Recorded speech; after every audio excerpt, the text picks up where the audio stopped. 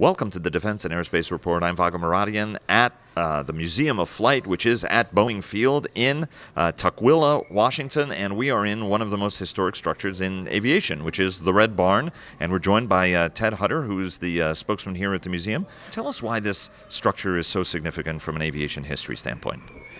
Well, this is what's known as the Boeing Red Barn.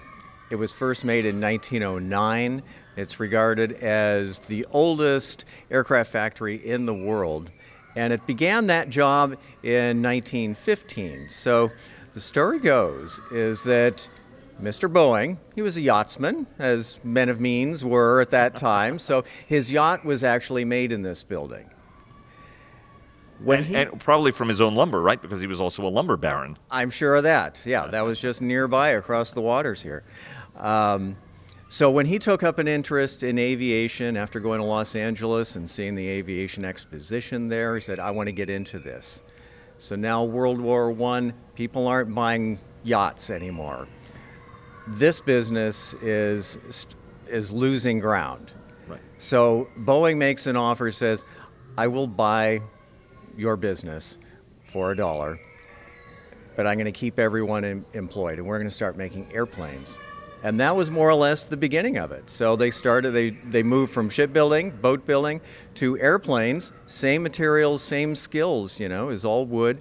And it was located, of course, on the water, on the Duwamish River, not too far from here. And uh, the first contracts, the first planes that they were making were, of course, uh, some types of seaplanes.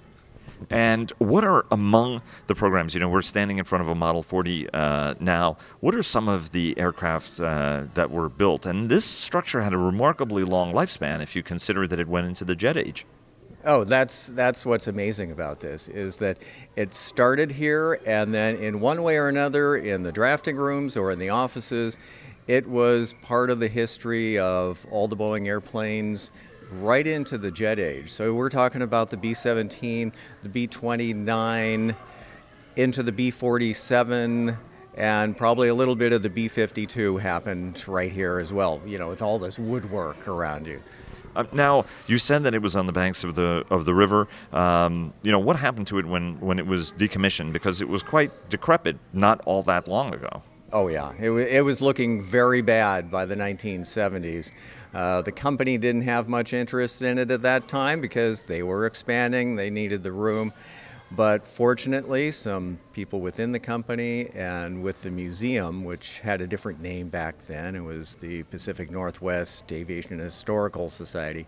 Um, but they wanted to save the building, and it was mainly through Bill Boeing Jr.'s efforts. He was the one that finally said, okay, we are going to save this building. He put up the money to make it happen, and they barged it downstream, or upstream, as the case may be, and um, towed it to this area, and this became the original site of the Museum of Flight here on Boeing Field and it's known as Plant One, isn't it? Because it was the first Boeing airplane right. factory. Right.